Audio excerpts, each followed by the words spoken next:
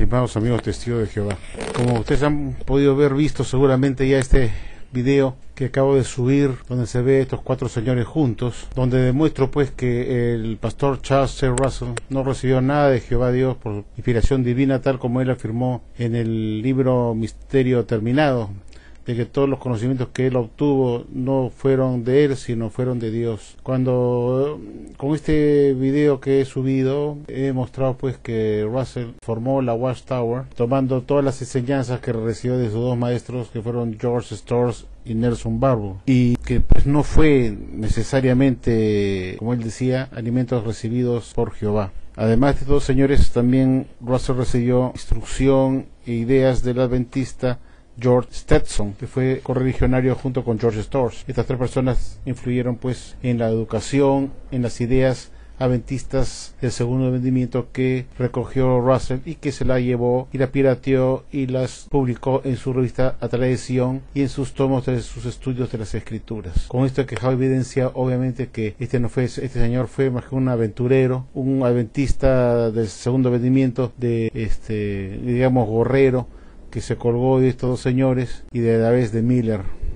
Ese es su antecedente de Russell de las doctrinas de William Miller que es, después pasaron pues a Nelson Barbour y a George Storrs que a la vez le dieron a Russell las ideas del adventismo del segundo vendimiento. Bueno, eh, para demostrar que yo no digo mentiras, inclusive el propio Charles Russell reconoció que esto sí fue así. Y veamos, hagamos una revisión, ya que ustedes no tienen la literatura antigua de la Watchtower y la sociedad dar cuenta pues que ustedes tampoco lo van a, tener en la mano para poder engañarlos y darles la información sobre Russell que ellos quieren dar, pero no les da toda la información correcta y verdadera para no evidenciar su estrecha relación con el adventismo del segundo venimiento. Veamos ahora, porque todos aprendemos, tenemos que desmulanizarnos todos yo aprendo, estudio, me desmulanizo y para que no ser para no ser egoísta también se los paso a ustedes para que ustedes se desmulanicen y abran sus ojos y aprendan y tengan es un, de cierta forma es una suerte que tengan una persona que tome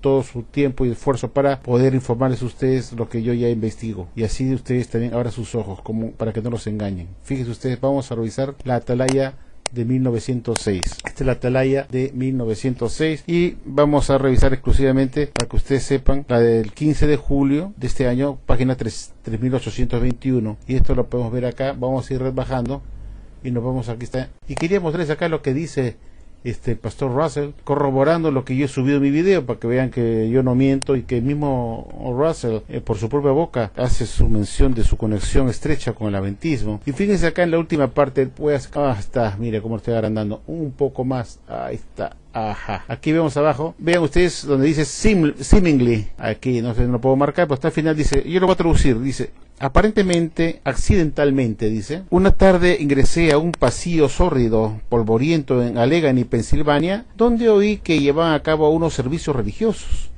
Quería escuchar si el puñado de personas que se reunían allí tenían cualquier cosa más sensible que ofrecer a la gente que los credos de las otras religiones grandes. Allí por primera vez escuché algo de la opinión de los adventistas del segundo vendimiento. El predicador que estaba dando el discurso era el señor Jonás Wendell. Entonces vemos acá cómo el pastor Russell hace pues mención de que él conoció a los adventistas un día que estaba caminando por una calle polvoriente, escuchó una, una reunión de personas llevando a cabo unos servicios religiosos, y escuchó a los adventistas y les gustó lo que había escuchado. Dice aquí como he visto, I heard something of the views of Second Adventists, ahí vemos arriba, estamos viendo la atalaya de Sion, ¿ah? y esto lo está relatando el mismo Russell, y el pastor era Jonás Wendell. Y dice pues, tengo que confesarles sin duda alguna que le debo mucho a los adventistas, así como otras denominaciones, dice Russell, fíjense ustedes. Y más abajo, pues vamos bajando, dice acá, dice acá, no dice and, and, and here, dice, y aquí yo debo reconocer y hago mención de la ayuda recibida por los hermanos George Stetson y George Storrs, este último, el redactor y editor de la revista el, el examinador de la Biblia o The Bible Examinator, ambos ahora fallecidos. El estudio de la palabra de Dios con estos estimados hermanos llevó paso a paso, me llevó a paso a paso en pastos más verdes. Miren lo que dice Russell.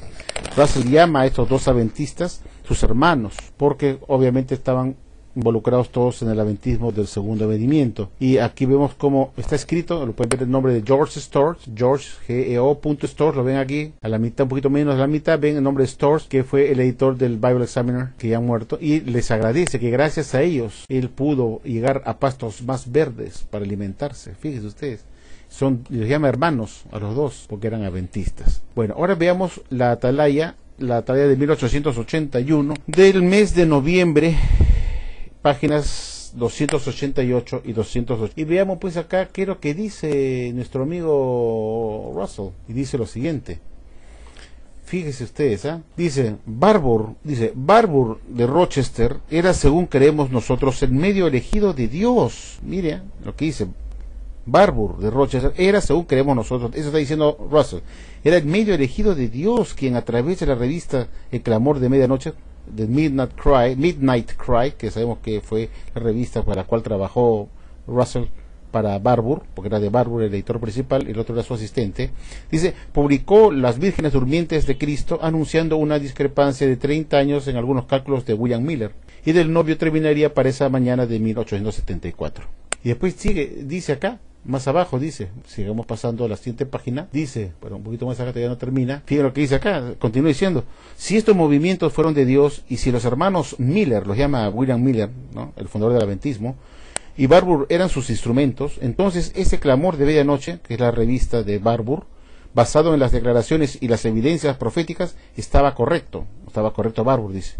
Y el novio sí vino en 1874. Y Russell dice, ahí estamos, podemos ver acá en la siguiente página, dice, acá arriba a la superior izquierda, dice, dice, nosotros creemos que la revista del clamor de medianoche era de Dios. Imagínense ustedes. Entonces, como tú hemos podido observar acá, lo, el, mismo, el mismo Russell rinde tributo a Miller y dice a, Miller, eh, digamos a Barbour, diciéndole pues que Barbour estaba en lo correcto al haber hallado 30 años de error en la profecía de Miller y que el fin del mundo que le había predicho para 1844, me refiero a Miller, Barbour dijo que se había equivocado por 30 años y que el año correcto debería ser 1874. Pero como no, no vino el Armagedón para 1874 ni Cristo vino en forma personal como se pensaba, Barbour quedó en ridículo y entonces dijo, no, este sí vino, pero en forma invisible, en su parucía invisible, que es la, el truquito que usó Barbour para salir del apuro y que aprendió ese truquito lo aprendió Russell después cuando le, falló el año de 1914 como la fecha del fin del mundo cuando ya se independizó de Barbour y falló también él por su lado en profetizar la fecha de la venida de Cristo diciendo que iba a ser el 1914 y como no vino en 1914 en forma visible también hizo lo mismo que hizo Barbour diciendo bueno que sí había venido pero en forma invisible. De ahí viene toda la historia de la venida invisible de Jesucristo para el 1914 que muchos de ellos ya no saben. Entonces estamos viendo acá pues que Russell este, hacía honor a Barbour y que pensaba Barbour que lo que había dicho que lo que había dicho Barbour con respecto al error de Miller de 30 años era correcto y era de Dios y que, que Jesús sí había venido en forma de novia de novia como la novia en 1874 porque esa revista de Barbour de Mina era la, era verdad y por lo tanto era el clamor, la revista clamor de medianoche era de Dios. Imagínense ustedes, esta es la realidad de las cosas y pongo estas revistas en su evidencia para que vean pues que el video que he subido con estos tres señores, con estos dos señores que vemos acá, aunado por el otro adventista George Stetson, que también influyó en Russell junto con George Storrs, de metieron a Russell las ideas adventistas del segundo venimiento. Por eso la Watchtower es una sucursal